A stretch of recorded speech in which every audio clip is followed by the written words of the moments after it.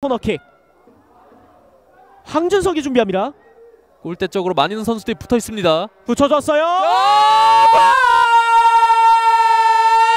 대전 코레일의 사치 득점! 스코어 1대0 앞서 나가는 원정팀 대전 코레일입니다 자, 바로 이런 모습이죠. 네. 이런 모습 때문에 선수들이 골대에 다 붙어 있었고 네 결국 이러한 혼전 상황스러운 모습에 득점을 연결짓는 대전 코레일입니다. 네, 여러 차례 코너킥의 기회를 가졌던 대전 코리인데 아 지금은 글쎄요.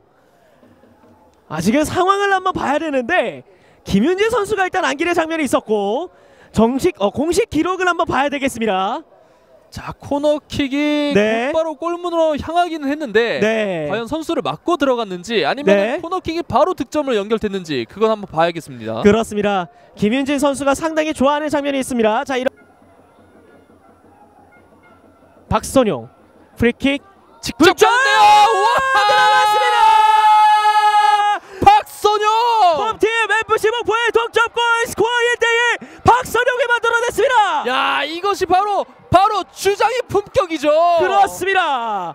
아 오늘 경기에서 크로스 상당히 날카로운 모습을 보여줬는데 결국엔 프리킥으로 득점을 만들어낸 주장 박선용입니다. 자, 그리고 조덕재 감독이 어떤 이야기를 했을까요? 이 감독의 귀, 말에 귀담아 들었던 박선용 선수인데 여기서 굴절되면서 들어갔습니다. 자, 이렇게 들어가는 건 마음 막기 어렵죠. 그렇습니다. 오늘 경기 내내 슈퍼세이브를 보여줬던 오찬식 선수를 뚫어낸 박선영.